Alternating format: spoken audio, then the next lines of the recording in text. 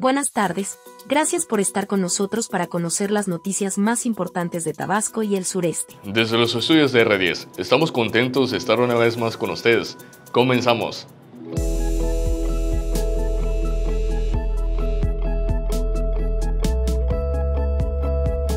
Ocupa Tabasco segundo lugar en quema de gas. Datos de la Comisión Nacional de Hidrocarburos revelan que Tabasco emite el 17% del total del venteo de gas no aprovechado a la atmósfera, a través de los desfogues de petróleos mexicanos, contribuyendo de este modo al aumento de la temperatura y contaminación del medio ambiente.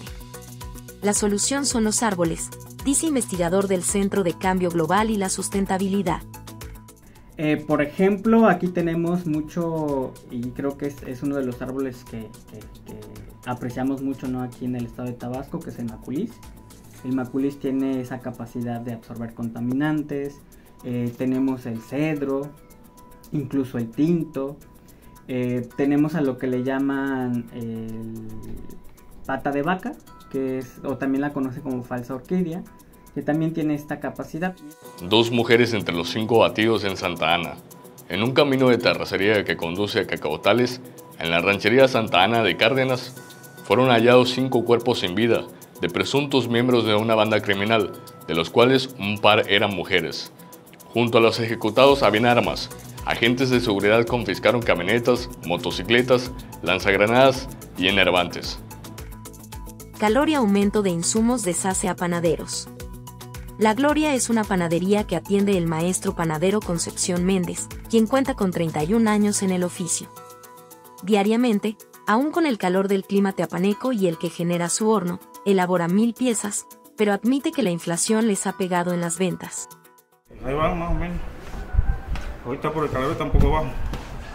La temporada de calor baja la, la venta. Así es. ¿Cuántas piezas hace diarias? Mil. ¿De qué tipo de pan son los que comercializas aquí? Bolillo especial y pan de dulce. ¿Qué es lo que se vende más? Los bolillos.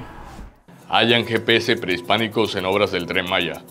Las 83 estructuras de piedra caliza en forma de L fueron localizadas durante la construcción del Tren Maya entre septiembre de 2022 y marzo de 2023, cerca del municipio de Champotón. Las albarradas datan del año 300 después de Cristo y sus dimensiones son variadas, los arqueólogos de Lina han dicho que éstas servían para guiarse.